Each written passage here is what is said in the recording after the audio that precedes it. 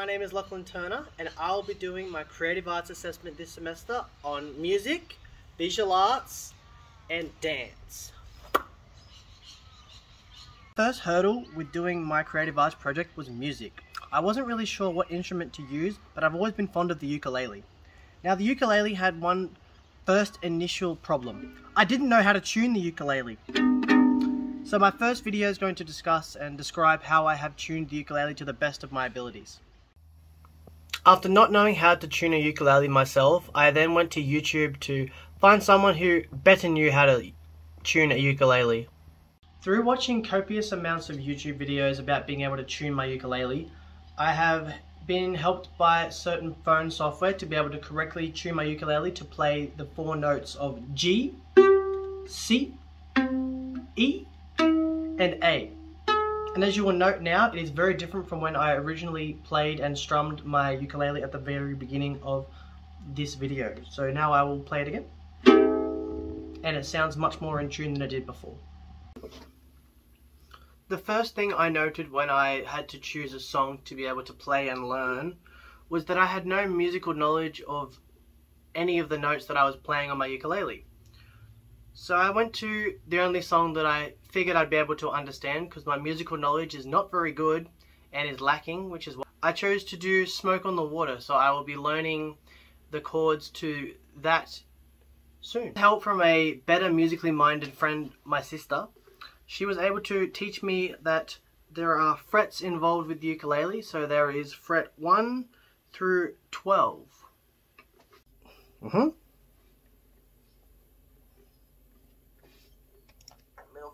String, the second fret. Hold on. Why your fingers look like that? As you just heard, music for me was very difficult because I wasn't really able to use my fingers the way I really wanted to whilst playing the notes. Moreno et al. believes that music is just about expressing yourself and having fun with what you're doing rather than just playing to please others. Atkinson and Robson believe that music is about enhancing one's well-being, and throughout this project I was really able to increase my self-well-being and be able to better perform the music. Throughout school I often struggled with music because I had no one really to teach me until my sister came along and she was able to guide me and aid me through the things that I needed help with.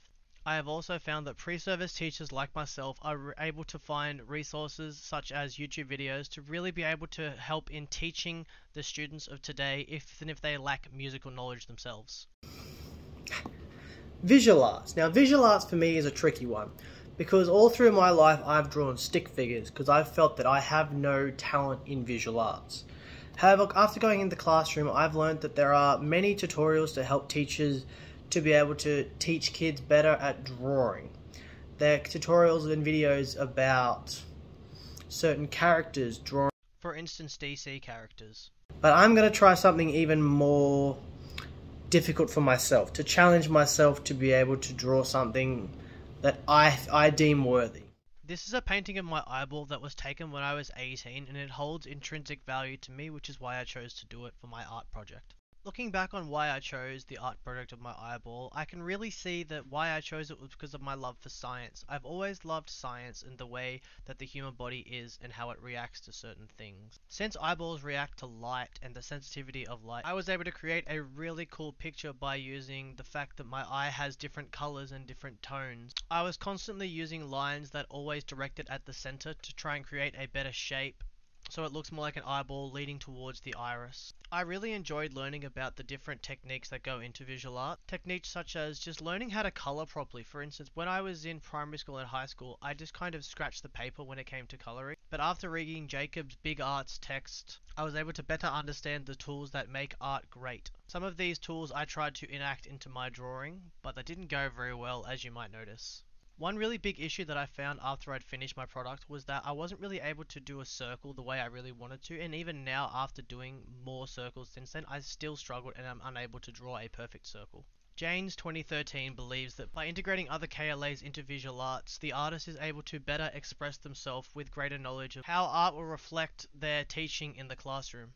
I've also found out that teaching arts in the classroom was going to be tricky for me in the future as I am still acquiring skills that I need to be able to effectively teach arts in the primary classroom. Now for some dance. Finally, I thought this one would be really simple for me as I have prior dance knowledge. However, I quickly found out that dance going to be a very tricky part of this assessment to be able to do. Quickly learned that all the classes that were on during COVID were already booked out, so I needed to find a substitute that would be able to get me through this conundrum that I had. I found YouTube as a way to be able to express myself without being judged by others because as an adult I found that I am constantly feeling the judgment of others. After practicing, I've been struggling multiple times with certain moves, so I've actually brought in an expert to be able to help me to be able to better my dancing skills. With the help of my teacher, my mother, I was able to better increase my dancing skills to a level that was able to actually keep up with the Just Dance video of, that I was watching. The dance that I chose was Footloose because it holds value to me for that I've always grown up with movies like Footloose and dances that I've really enjoyed include the ending song Footloose and the song Fake ID. Naiman 2015 believes that dance and yoga are able to improve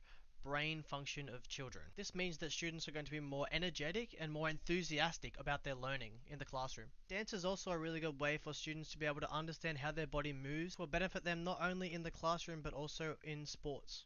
Even after completing the dance, the music, and the visual arts, I'm still unable to confidently say that I have been able to achieve standard 2 of knowing the content and how to teach it. I feel that I still have a long way to go before I'm able to efficiently and correctly be able to teach this properly in a classroom. However, for standard 6, I believe that I have engaged with professional learning and engaged in improving my own practice, which is standard 6.2, for the fact that I've gone out and actually understood and learnt about different aspects that go into the entire arts program.